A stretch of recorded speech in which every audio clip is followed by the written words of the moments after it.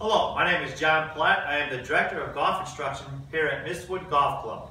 Today what we're going to talk about is I'm going to give a, the beginner to an average player a couple of ideas what they can do to become a better player.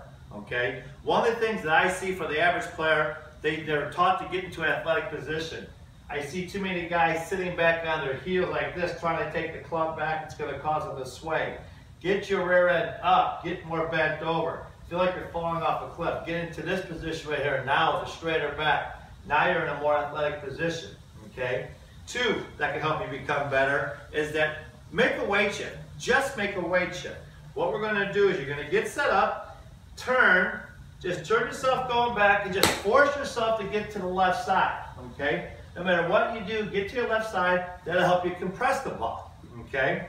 And then three, what I want to make sure is, as you're doing this, people are always taught to keep their head down, okay? Then I see this going on. They come through, and I've seen this, they make no turn, everything collapses. I try to get my students to try to take the club back, and I kind of get them to get their head turning out. That'll help them clear better, okay? And then if you really want to get better, I'm going to show you what you really need to do. Just cheat. How do you cheat? Come follow me, I'll show you how. One way to cheat Prove your life. I got it. Did you find your ball yet? Yeah, got it here. Another way, improve your ball mark.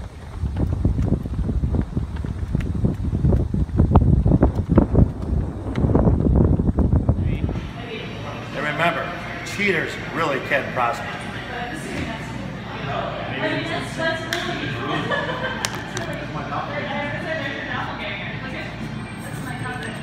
there you go.